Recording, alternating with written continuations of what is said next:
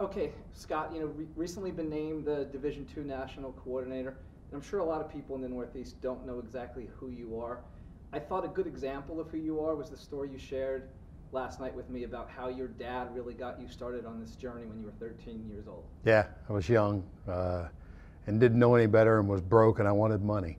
So my dad said, you want to make some money in the summertime, you, you should come umpire baseball with me. So I played Little League up to 12 and I still played baseball, but I also got to go out and, and work Little League baseball 10 and under uh, when I was 13 years old. And I think the thing about it was that it happened purely by accident, probably because my dad was lazy and didn't want to work the plate and he could put me back there.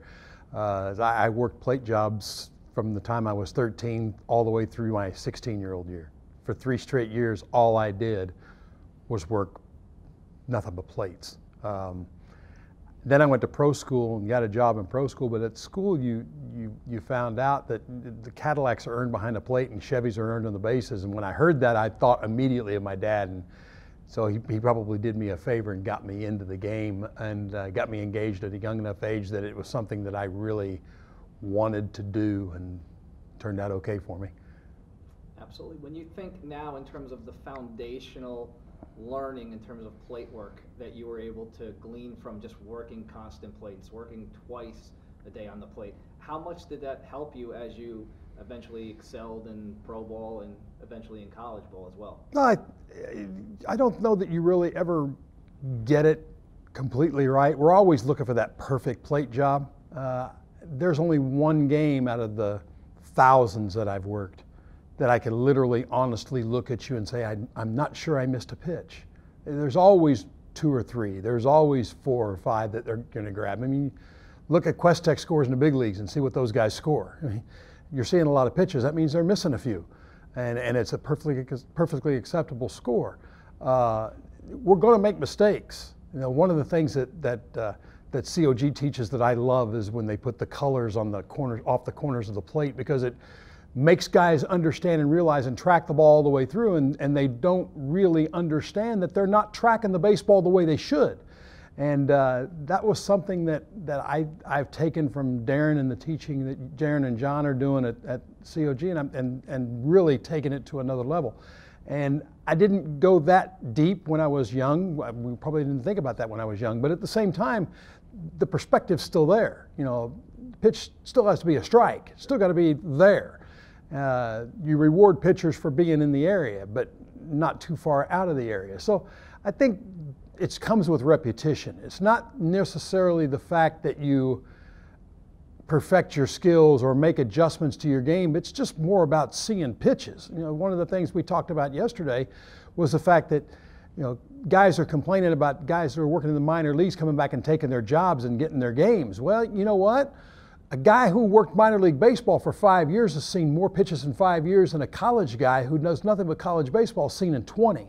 So there's a big difference, and there's something to be learned from those guys coming back from professional baseball, and hopefully you can take that to your game uh, at the college level and be able to improve. So, but for me, it's all about getting back there and wanting to work. Best advice I can give to a young guy is when you're that guy who comes and works with two veterans, bring your plate gear and, and be the guy that wants to work the plate. They may not let you because they may have the rotation already set for a purpose, but be the guy that's always ready to climb back there because you learn more from getting back there and doing it than you do watching somebody else do it.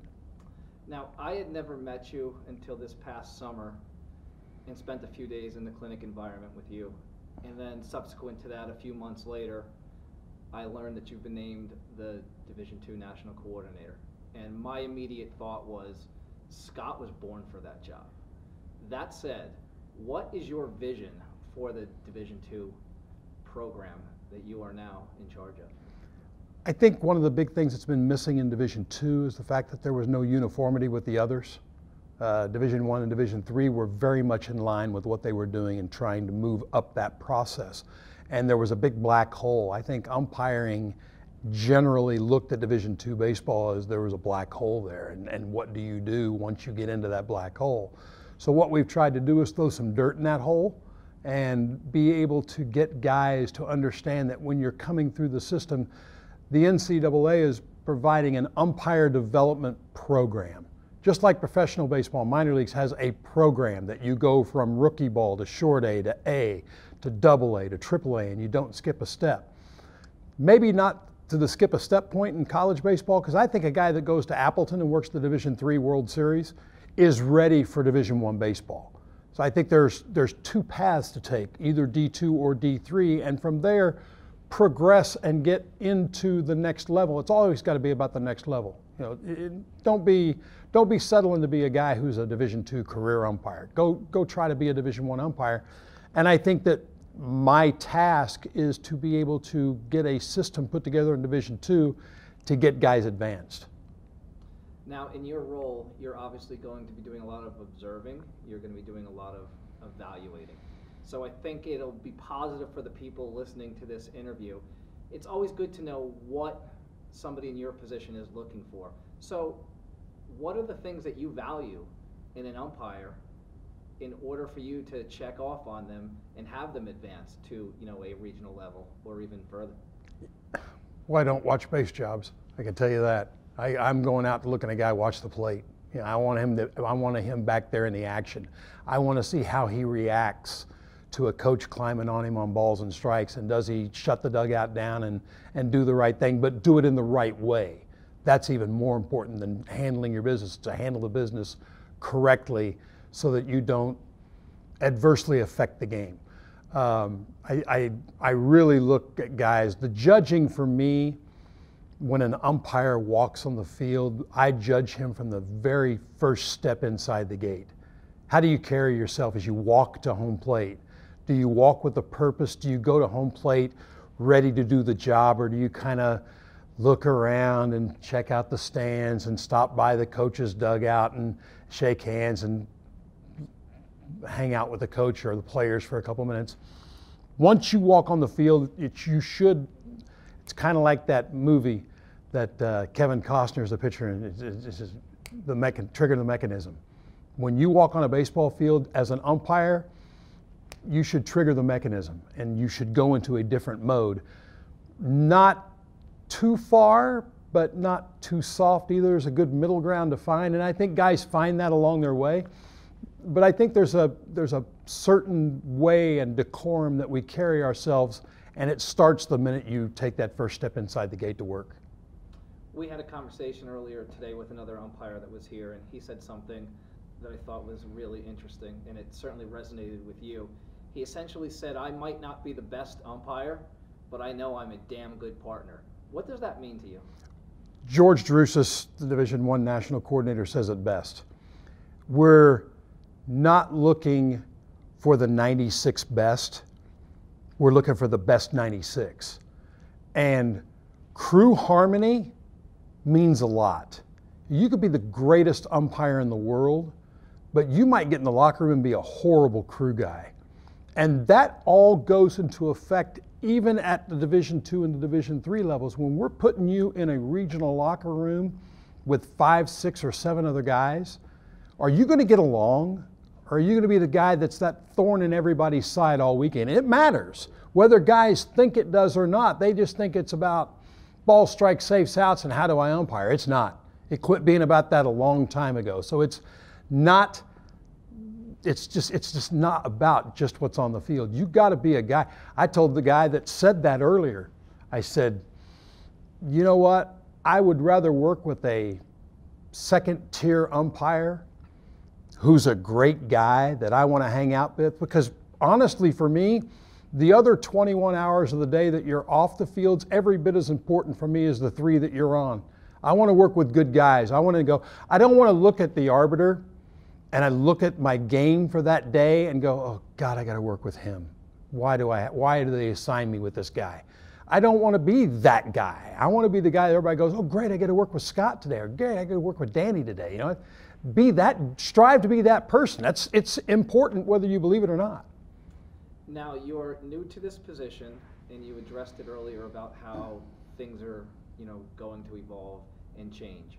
For the umpire out there that maybe hasn't been noticed, believes he should be noticed, believes a guy like you should at least have him on your radar.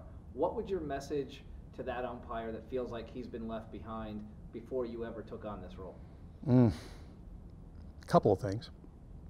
Uh, one, I, wa- I, I watch guys in meetings like this. We're here in, in Baltimore this weekend, and, and I watch guys come up and approach guys like myself and Don Umlin and Randy Bruns, and they, they want to get their face in front of you. They want to meet you, but it becomes something of there's a fine line between networking and going too far. I got, most guys walk up to me and they want to get on my radar. Don't understand that you can't get you on my radar. Your coordinator's got to get you on my radar.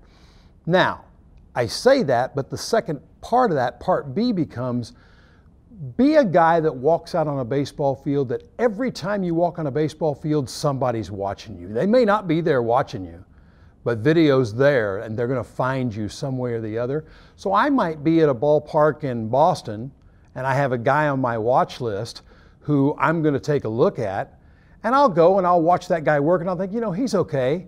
But all of a sudden, out of nowhere, there's a guy working third base that day that's going out there just busting his hump and running hard and getting in position and doing the right things and, and making everything look good. That I'm going to call the coordinator who's assigning that game and go, okay, your guy was pretty good that you sent me to see, but tell me more about the guy that was working with him. I mean, that's how you can sneak on a radar without it maybe being your coordinator. Because if I'm seeing a guy and I see it with my eyes and I see that it, and I know what it is, although I can't explain what it is, but you see it, you know it, you can get on a radar pretty quick if you're a young guy that's working with a guy that I'm going to see and you show some signs of it and you make me watch you more than I'm watching the guy I'm there to see.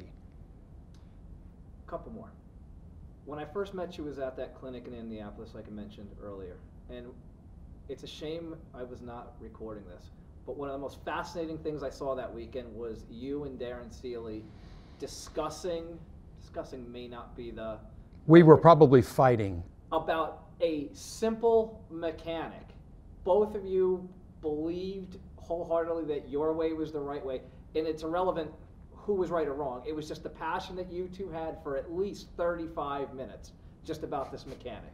So, with that as the foundation of my question, where do you believe attending clinics and learning and improving in that fashion, where do clinics fit into the whole equation from your perspective? Big time, big time. It, it's it's everything. I, I told the guys in the room. I said, when you quit learning, you begin to die.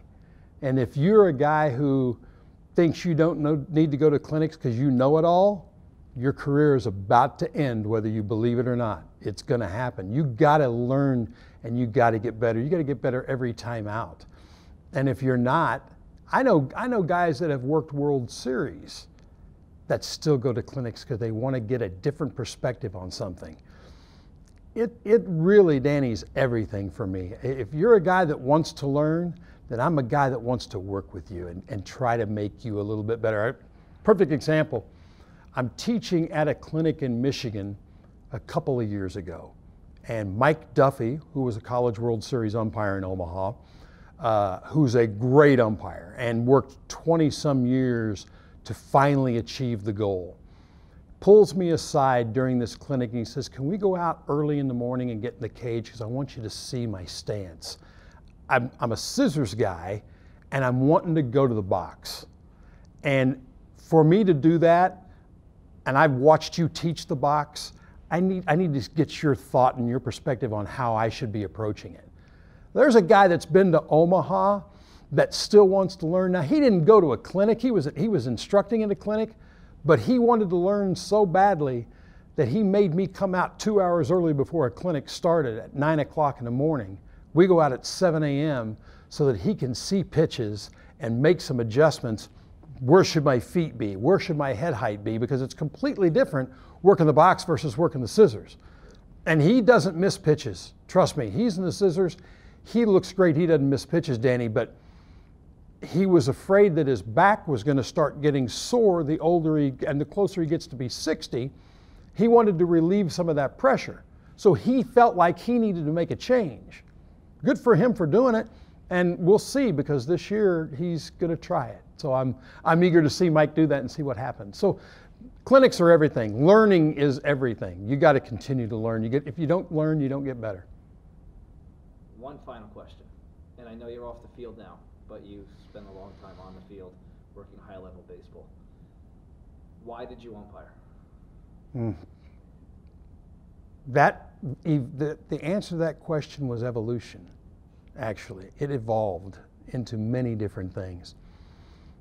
Looking back on my career, when I very first started umpiring at 13, this is about the cash. 13 years old, and I'm out there making $10 a game, you know, and I'm thinking, that's great. That was like, what, 1972, 73 when I started? Uh, so $10 a game was a lot of money back then. Uh, then it became later on about trying to advance and climb the ladder. Once I advanced and climbed the ladder a little bit, and I, I was about to graduate from college, and right before I did, semester before, I said, if I don't go to umpire school now, I'm going to settle in, I'm going to go find a job, and I will never try, and I will always wonder what if. So I went to umpire school, and I went to California, and I had never been to a state that did not touch Oklahoma, and I'm 21 years old. And go to California, the Bill Kinnamon School, that tells you how old I am. Bill Kinnamon, not Brinkman, not Evans, not was, Bill Kinnamon, 1982.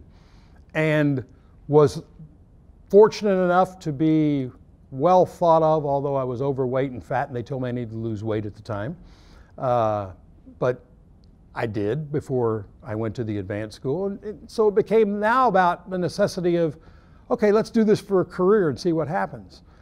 Then I quit after my double A year in, in 85. And after that, I kind of went, okay, I'm not going to work anymore. I'm not going to umpire anymore. Took a couple of years off and found that I missed it a little bit. Had the opportunity and now come back full circle. And now I go back into doing college baseball because I wanted to make a little extra money. I wanted to make some more money. I wanted to go do it. And then I went through a burnout. 95, I came off the field and was off the field for 11 years. Got completely away from the game of baseball.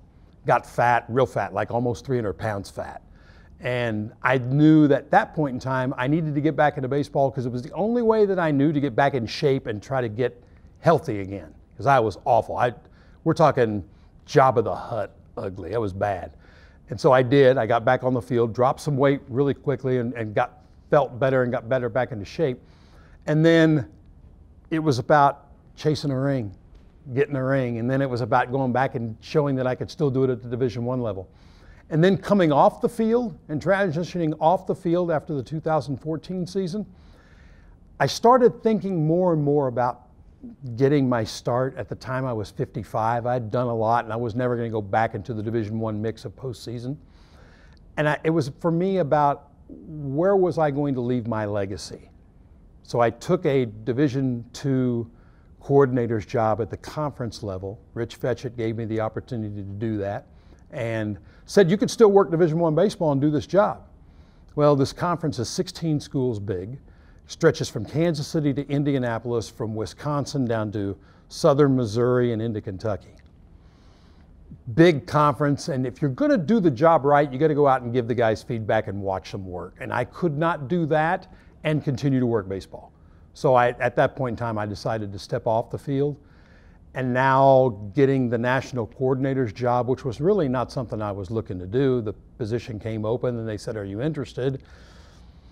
And then we, my wife and I got to talking about it a little bit, and so I'm leaving a footprint legacy in a conference. I get to leave a really large footprint legacy in a national spectrum. And I felt like it would be an honor to my dad, who got me started. So that's why.